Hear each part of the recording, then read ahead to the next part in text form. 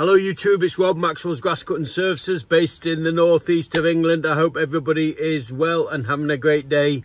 As you can see, I don't know if you can see out the windows, but it's it's coming down, it's coming down. But I mustn't moan, I've had a good run. It's now, oh, it's quarter four.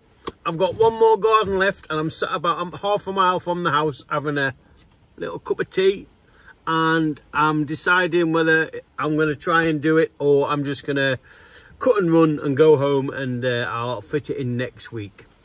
You got to do that, haven't you? But the weather was horrific today, according to the weather forecast, and I've managed to get through every job apart from this last one. So you cannot grumble at that, can you? Today's video, I've been asked by more than one person. I've had loads of messages. Has somebody put a YouTube video out and I haven't seen it? I don't know. But the, the question is, and it's the same question, so I don't know if it's a coincidence or something in the media, I, I don't know. But the question is, if you only could use one mower, what would it be, Rob? It's a good question. Um, for me, it wouldn't be a, a rear roller, that's for sure. Uh, although they're brilliant and uh, they do look lovely when they're done, when it's like this, it just ruins lawns. I haven't used my rear roller yet this year. The ground's too wet. It makes too much of a mess. For me, it's got to be one lawnmower. And if you watch the channel, you know what it is. It's the Honda HRX 537. Why? Well, I tell you what. I'll cut off. I'll get it out. I'll let you have a look at it. And uh, I'll tell you a few reasons physically why. Then I'll come back and tell you why I love this mower.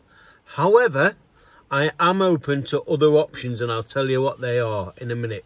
But we'll have a look at this uh, Honda HRX 537 then I'll show you one of the best points I think about it.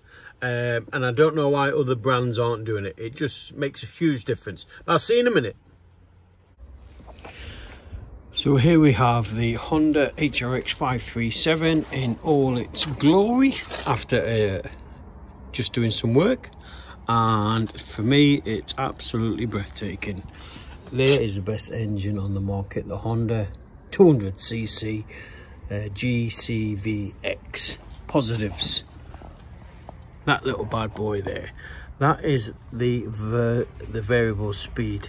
It means that you can speed it up when you're mulching slow it down and do exactly what you want with it uh, another positive is this here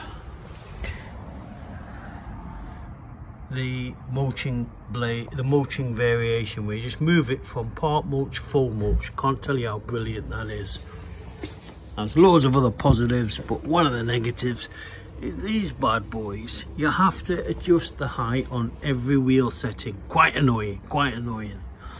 And the other brilliant thing is the twin blade underneath uh, which cuts the grass as fine as you like. So there it is, the Honda HRX 537. A lovely little bit of kit. Fantastic.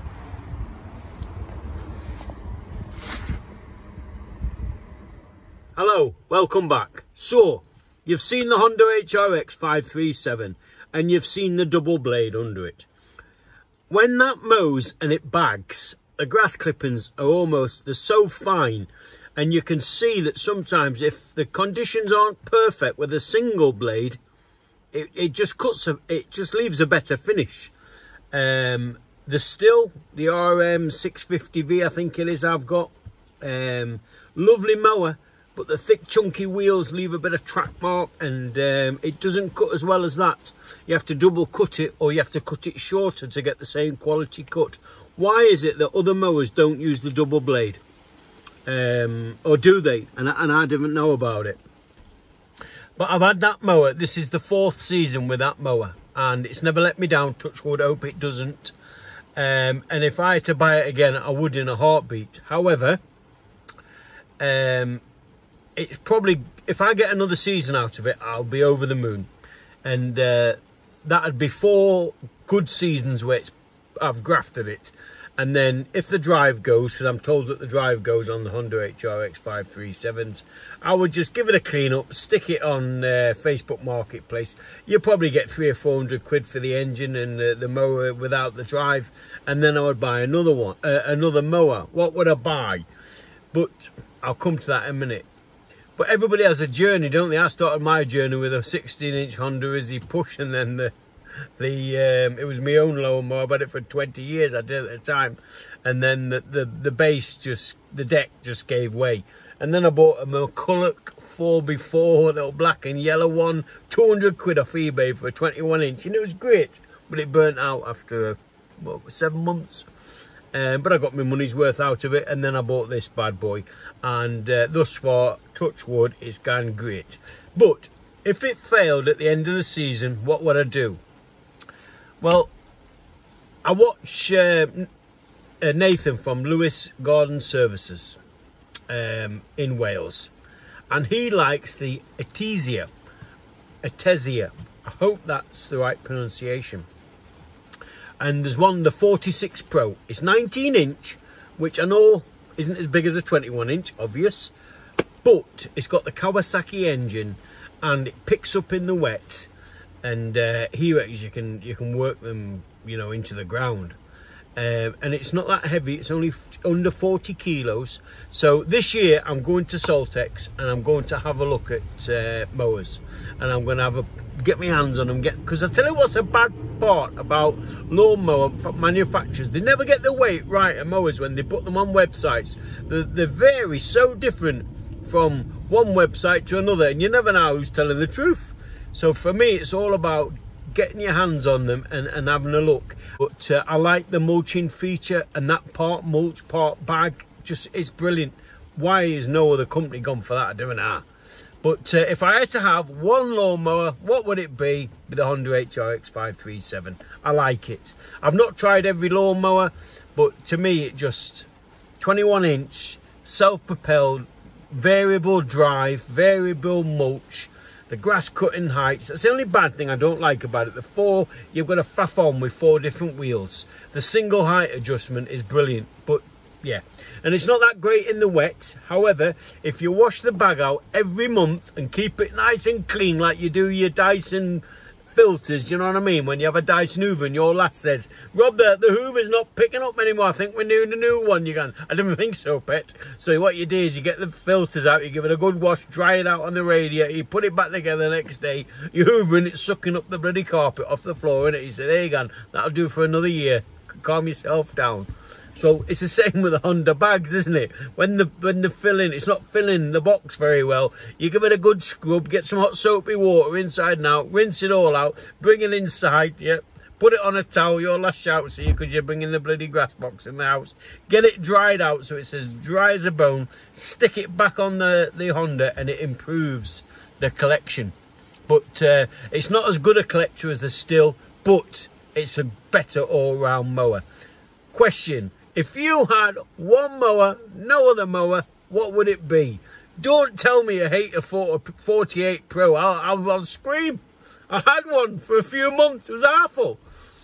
That's wrong. If the lawns were beautiful and flat and it was a lovely dry day, you don't get a better finish. You don't.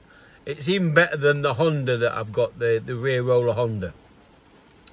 But it's a big heavy lump of steel and uh, unless it was perfect conditions it wasn't. If that's the only mower you've got you're going to struggle that's my point.